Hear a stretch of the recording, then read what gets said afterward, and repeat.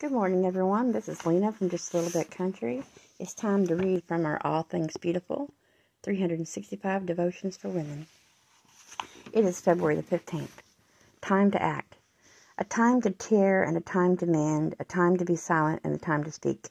Ecclesiastes 3 7. When you consider the challenges, challenges you are facing in life right now, what are you compelled to do in faith? What is, where is fear keeping you from acting in love? Do you need to put up firmer boundaries in your life? Is there a relationship you need to repair? Is there a conversation that needs to be had? Only you and God know what is right for you. The Spirit of God is your guide, and He will not lead you astray. Don't be held back by the fear of what could be when you know that you need to act. Take a few deep breaths and turn and tune into your heart right now. What is it time for? Let the Spirit reveal what is already at work with you.